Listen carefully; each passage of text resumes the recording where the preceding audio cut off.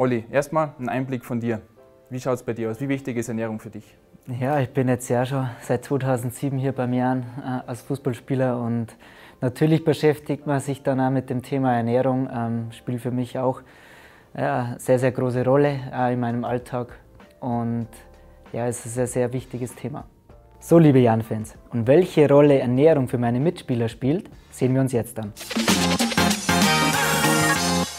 Für mich äh, spielt ähm, Ernährung auf jeden Fall schon eine, schon eine Rolle, äh, im Sport vor allem auch, weil es einfach dazu beiträgt, wenn man sich richtig ernährt, die, die bestmögliche Leistung aus sich rauszuholen. Auf jeden Fall eine große. Ähm, mit den Jahren hat das äh, auf jeden Fall zugenommen, dass man da ein besseres Auge für hat und äh, auch mehr darauf achtet. Wichtige Rolle, also gerade in der heutigen Zeit, wo immer mehr Massentierhaltung und so weiter zur Debatte steht, sollte man sich sehr bewusst ernähren. Es tut der Gesundheit gut und auch der ganzen Umwelt.